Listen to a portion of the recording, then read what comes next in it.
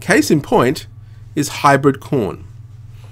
Hybrid corn was developed in the 1930s, essentially by cross uh, breeding, if that's the right word there, crossbreeding corn. Uh, uh, you were able to develop strains that had higher yields. And you can see here from a very famous study by Zvi Griliches uh, that the pattern of diffusion of hybrid corn, where the y-axis is the percent of farmers who are uh, corn farmers who are adopting it, uh, had this elongated S shaped. Uh, interestingly, of course, when you look about at this here, is that the S shape was state based. Uh, Iowa were actually early adopters from a state perspective, although there were early adopters even within Iowa, and then it took off pretty quickly. And it was basically all done uh, by the end of World War II. Uh, Wisconsin had a slower uptake than Kentucky, and Alabama uh, was well behind.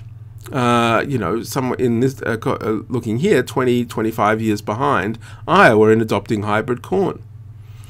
Now, there's an interesting question as to why that was the case. Well, as it turned out, uh, where it was adopted was where it would be most uh, profitable. And it was going to be most profitable to develop these seeds, and they had to be developed from the environment in Iowa. And it took a little longer for it to occur in Alabama, where it made economic sense to do so. So, this is just profit maximizing behavior on the part of, in this case, the customers. But the point we want to grasp here is that the market to S curve was showing up is as far away as uh, uh, as long ago as 1930s. This has happened in everything.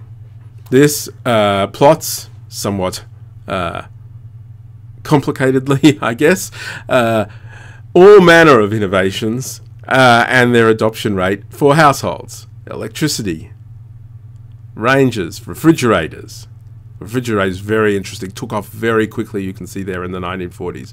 Radio, color television, color television. That was a popular product. Telephone, actually quite slow.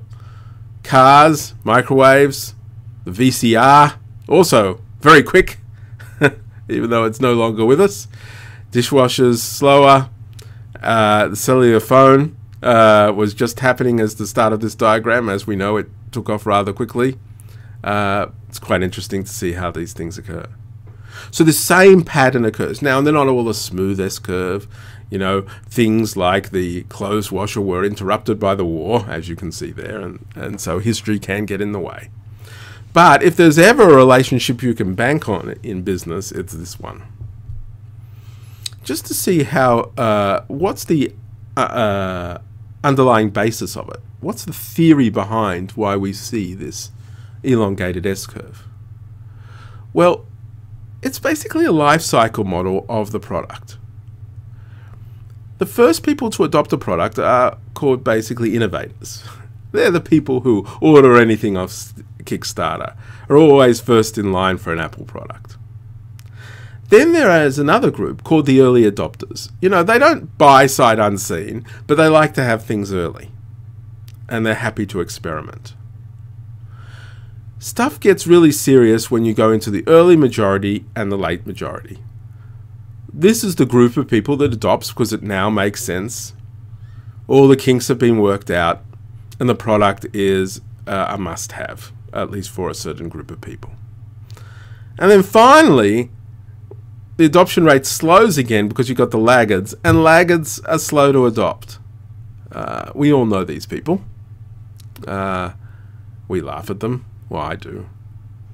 Uh, but they they do uh, uh, arise here, okay. And eventually, once the laggards are adopting, you actually know that the product is not going to have much more growth after that. The tough thing is being able to predict the takeoff into the early majority and then how big that whole lump in the middle actually is, and so what the total penetration of the product might be. And people get this wrong all the time because right when you're taking off, it looks like it could go on forever.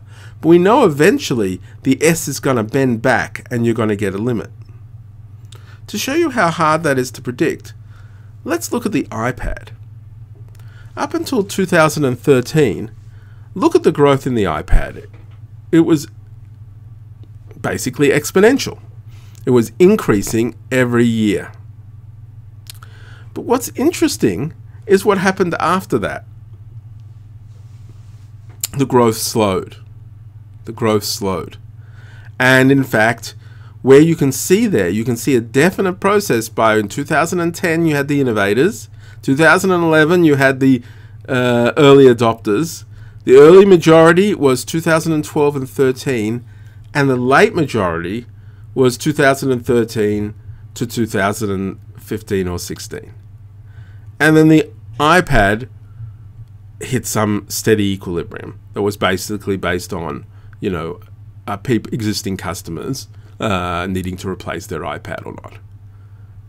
So there was a lot of discussion, of course, that you know Apple had missed out, etc. But actually, as it turned out, that Apple had actually captured that entire tablet market. Everybody else who came in in 2013 were already coming into a declining market and sto- stood no chance to catch up. So this is where the S curve is quite useful. Is it's a useful concept, but there are different ways the S could play out. It could be short and stunted, it could be long and elongated, it could be very rapid. You don't know, but what we do suspect is your choice of which early adopters you target is going to matter for how that scenario plays out. So here are some of the basic characteristics that you would look at for innovators, early adopters, early majority, late the majority laggards. Uh, this might be useful to uh, come back and look at if you were thinking about the full trajectory uh, of formulating your strategy. And here is a more amusing one uh, of that. Um, apparently, when Ashton Kutcher has a product, then you know something about it. Uh, when you find a, a, Costco or Sam's Club, it's like the end of the road. there might be truth to that. There's no empirical evidence to uh, to justify that whatsoever. So, what's interesting is that entrepreneurial opportunities exist at each stage of the market S curve. In other words, there's this big long S curve for a whole category like a tablet. But there are little opportunities, little S curves that come in for improvements and other things within that. Your initial customers are your critical choice in all of this, and it may not be easy for you to change tack afterwards. The question you also have to ask are the early adopters the best or the worst customers of the incumbent? So the question is that's really quite a difficult question to answer.